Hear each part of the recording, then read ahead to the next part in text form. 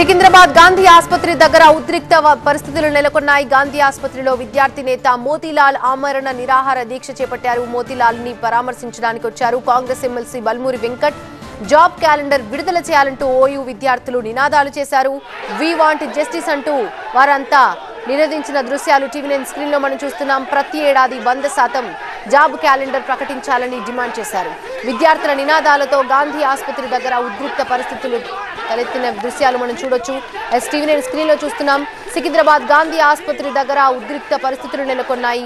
గాంధీ ఆసుపత్రిలో విద్యార్థి నేత మోతీలాల్ ఆమరణ నిరాహార దీక్ష చేపట్టారు. మోతీలాల్ని పరామర్శించడానికి వచ్చారు Congress MLC Balmoori Venkat.